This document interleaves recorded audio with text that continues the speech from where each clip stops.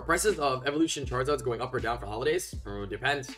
Right, if you're talking about the PSA 10s, those are still kind of hold for a while because the uh, PSA 10s of evolutions, uh, it's hard to get a 10. Evolutions was just garbage in terms of like how they printed and cut the cards. It was really, really garbage. It's the best Sword and Shield pack to buy.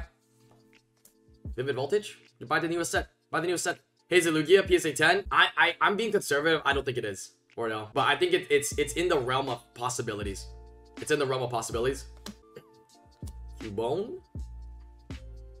How much is the Team Rocket pack? Depends. First edition or not.